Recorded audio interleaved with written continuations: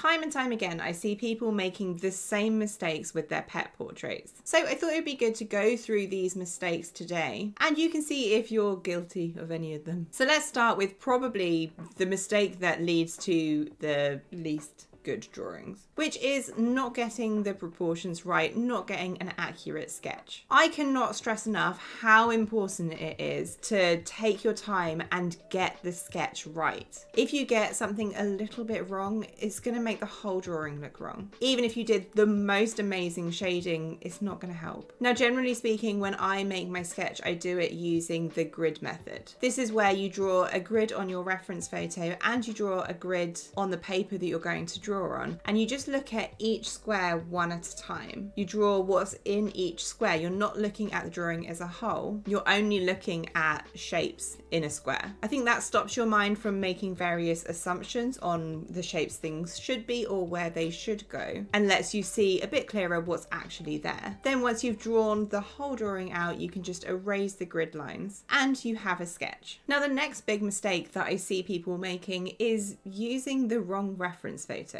The key to making stunning drawings with graphite pencil is contrast. If you have a really flat reference photo with no particularly strong lights or darks, it's just never going to look as good as one with amazing contrast. It really is worth the time getting a great photo. Now, generally speaking, if I want to take a photo of an animal for a drawing, the first thing I want to do is get down to that animal's level. You want to be at eye level with them. You don't want to be looking down on on them. Also, taking their photo next to a window, for example, is just going to give way more interesting contrast than if you're in an area with slightly flatter lighting. And then once you've got a great reference photo with the great contrast to work from, you want to make sure that you really make the most of that. And that quite nicely leads me into my next point, which is seeing people not build up the layers, not building up the different pencils. If you just worked with just the HB pencil and you drew the whole drawing with just this, your lights might be pretty good, but your darks are not going to be anywhere near as dark as they could be or as they are in the reference. Now, generally speaking, what I like to do when building up colour is start with some of the harder pencils. So start with the HB, for example, and gradually work my way towards the softer pencils. So I start off with the HB pencil. I'll draw everything out, maybe not with huge amounts of detail, but I just want to get in the main shapes. And then once I'm happy with what I've got, I'll then use a piece of tissue and blend it. This smooths it all out and removes that grittiness. I then, with a little bit more detail, will do a similar thing with a 3B pencil pencil, for example. Maybe building in some of the texture this time and just allowing myself to perfect some of the shapes on the face. And then once I'm happy with that layer, I'll again blend it with a tissue. And then I'll move on to the softest pencil, so the darkest pencil, maybe the 6B. Fill in the absolute darkest areas and blend. And then from there, because I've lost a lot of the light and I really want to have really bright whites and really dark darks, I go back in with an eraser and add all of those light areas areas back in. Once I'm really happy with my lightest parts, I can go back to that very softest pencil, so the darkest pencil, add in all of the final details and really get that contrast, really get those dark areas where they should be. And that just creates a much richer, more realistic looking drawing. I also think it's more forgiving than just doing it with one pencil. There's more areas where you can make a mistake and then correct it later.